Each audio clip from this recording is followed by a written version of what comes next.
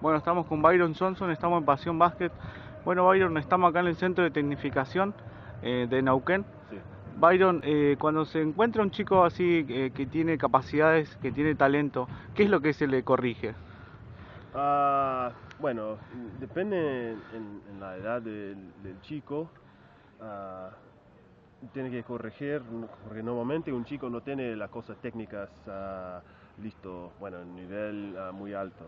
Normalmente cuando habla de talento de un, un- un- un- un joven, habla de talento físico, que es muy rápido, eh, muy largo. Que por ahí eso pasa, eh, disculpame que te corre, eh, por ahí pasa eso en U13, que el chico está muy desarrollado eh, físicamente, pero después cuando llega sí. a U15 se- es como que se baja un poco. ¿Qué es lo que hay que La corregir? cosa es, algunos chicos crecen más rápido que otros, así un chico de 13 años no crece más en, en altura y estado físico.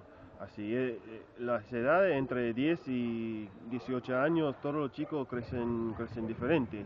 Así, ah, el desarrollo de, de- de técnico es muy importante, es más importante, para mí es más importante porque hay nada que pueda hacer sobre tu, tu altura o tu, o tu tamaño. Bueno, de, de tu tamaño puede hacer pesa, pero hay alguna gente que son más fuertes que otros, que genéticamente son, Claro. son, son superiores más o menos. Así, las cosas técnicas son, que son cosas que dura, necesitan mucho más tiempo para, para hacer.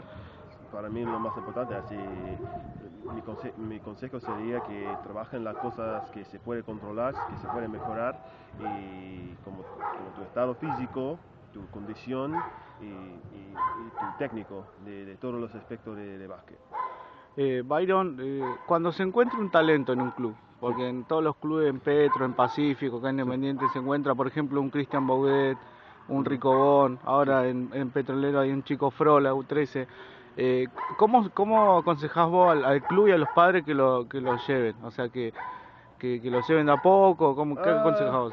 Porque mucho depende del chico. Ah, el padre tiene que apoyar, obvio. Ah, hay algunos padres que, que meten mucha presión en el chico, que quiere, quiere que el chico logre más que el chico quiere, ¿entendés?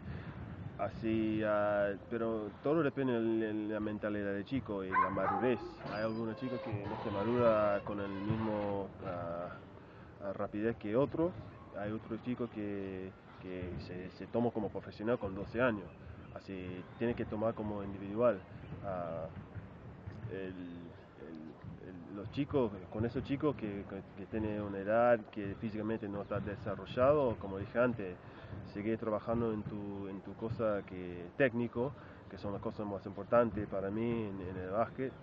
Y, después, si, si viene la cosa, si viene altura, si viene los, se va a venir las oportunidades, porque el básquet es un juego donde hay dos lados, ah, ataque y defensa, y hay dos lados de, talento. Hay, un lado técnico, hay un lado físico. Así, ah, bueno, eh, por los chicos, si, realmente quiere, quiere ser grande, tiene que trabajar mucho, tiene que dedicarte al full, no, no, no a medio, no, no, no hay muchos no hay profesionales que se dedicó ah, por el medio, hay que dedicarte 100%. Bueno, acá, a ver, llamamos acá a Bruno Gelsi, que, que está, que está acá cerca. Bueno, Bruno, recién le preguntaba a Byron eh, que cuando se encuentra un talento en un club, por ejemplo, acá vos conocés el caso de Cristian Movet, está el caso de Ricobón en Pacífico y está Frol ahora que, que salió en Petro. ¿Qué le aconsejás vos a los- al club y a los padres que para, eh, para, que lo, para que lo vayan llevando? ¿De a poco o que lo, qué le aconsejás vos? Primero con lo que estoy viendo en los torneos locales para los chicos, los padres que estén un poco más tranquilos, porque me parece que están, se ponen un poco nerviosos. No, no de los chicos que estamos hablando, que, los conozco, sino en, en general, me parece que hay que apoyarlos y, dejarlos que- que jueguen, dejarlos en manos de los entrenadores.